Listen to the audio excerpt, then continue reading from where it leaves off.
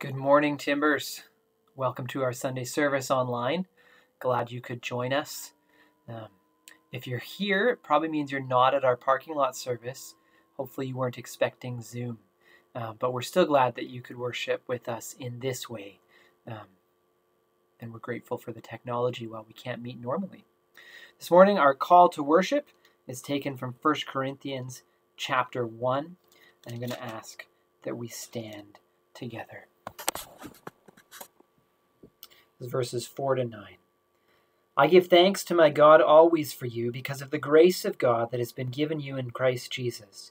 For in every way you have been enriched in him, in speech and knowledge of every kind, just as the testimony of Christ has been strengthened among you, so that you are not lacking in any spiritual gift as you wait for the revealing of our Lord Jesus the Christ.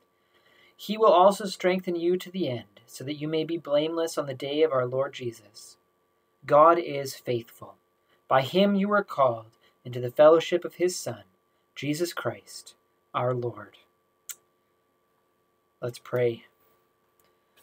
Father God, we thank you that you are faithful and that you have called us into fellowship through your Son.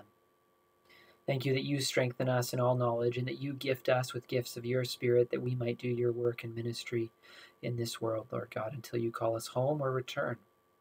As we wait for that day, give us wisdom and strength and lead us in worship this morning, Lord God. Come, Holy Spirit, we pray in the name of Jesus. Amen. Let's worship together.